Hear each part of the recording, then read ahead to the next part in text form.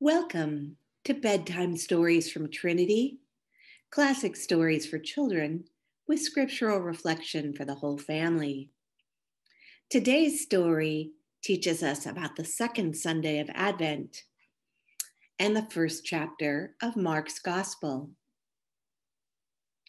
We'll be reading Sleepyhead, written by Karma Wilson and John Segal, and read by Aaron McCray Goldsmith. Hey there, I'm Aaron McCray Goldsmith, the Youth and Families Minister at Trinity Cathedral in downtown San Jose. And today I'll be sharing with you Sleepyhead by Karma Wilson and John Segal. Sleepyhead, sleepyhead, good night, good night, my sleepyhead. Your teeth are brushed, your book is read. Go to sleep, it's time for bed. One more book, says Sleepyhead.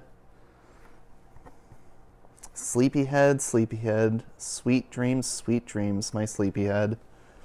We've hugged our hugs, the prayers are said. Go to sleep, it's time for bed. One more hug, says Sleepyhead. Sleepyhead, sleepyhead, now close your eyes, my sleepyhead. We've kissed our kiss, your quilt is spread. Go to sleep, it's time for bed. One more kiss, says Sleepyhead. Sleepyhead, sleepyhead, the moon is high, my sleepyhead. You've drunk your drink, good night, I said. Go to sleep, it's time for bed. One more drink, says Sleepyhead, and one more teddy, one more snuggle, one more comfy, cozy cuddle. Just one more, says Sleepyhead. I promise then I'll go to bed.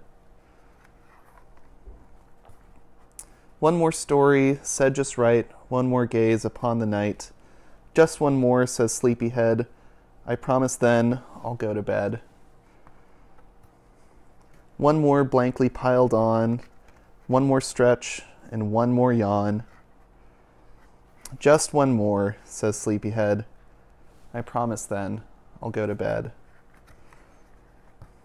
Sleepyhead, sleepyhead, sleep tight, sleep tight, my sleepyhead. Tomorrow's play is just ahead. I love you so. Now rest your head. What a wonderful story about maybe preparing a little bit too much for bed.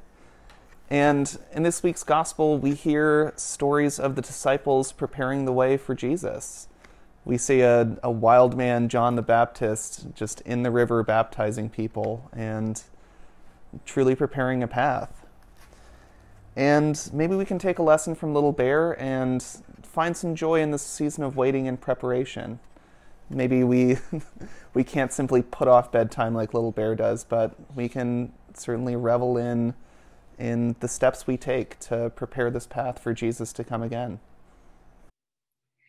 From the first chapter of Mark, it says, The beginning of the good news of Jesus Christ, the Son of God, as it is written in the prophet Isaiah See, I am sending my messenger ahead of you, who will prepare your way. The voice of one crying out in the wilderness, Prepare the way of the Lord, make his paths straight. John the Baptizer appeared in the wilderness, proclaiming a baptism of repentance for the forgiveness of sins. And people from the whole Judean countryside and all the people of Jerusalem were going out to him and were baptized by him in the river Jordan, confessing their sins.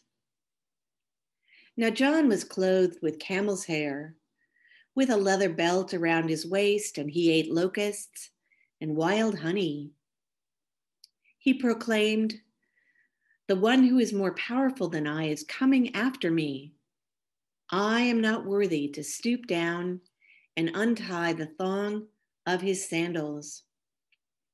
I have baptized you with water, but he will baptize you with the Holy Spirit. In this week's gospel, John the Baptist reminds us that when something exciting is coming, we have to take time to get ready for it. We learn how to do this, and the season of Advent is when we practice getting ready for Christmas, which we might do by decorating a tree or making gifts or singing special th- songs. These are all ways to get ready for celebrating Jesus born in our midst a long time ago, and also being born in the hearts of those who are prepared for him. Elizabeth Bulwer Landis, writing for StoryPath, says, We spend time each day preparing for things. We prepare ourselves for the day, we prepare ourselves for bed, we prepare ourselves for special celebrations. During the weeks of December, we prepare ourselves for Christmas. John the Baptist is urging everyone he meets to prepare for the Lord. The Lord is coming soon, and we need to be ready. In Sleepyhead, we follow the preparations for bed. The little bear keeps saying, One more, as bedtime comes closer and closer. We too can keep saying, I'll start preparing later but the inevitable is going to come, whether we have prepared for it or not. Christmas Day will come, whether we've crossed everything off on our to do list. Jesus will come, even if we're not ready for him. Let us pray. God, getting ready is really hard work whether we're getting ready for bed or for school or for a special visitor, we need to take our time and do everything necessary for the new thing to happen or the new person to come.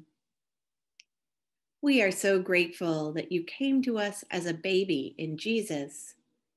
And just like our own parents got ready to welcome us when we were born, we want to be ready to welcome you at Christmas.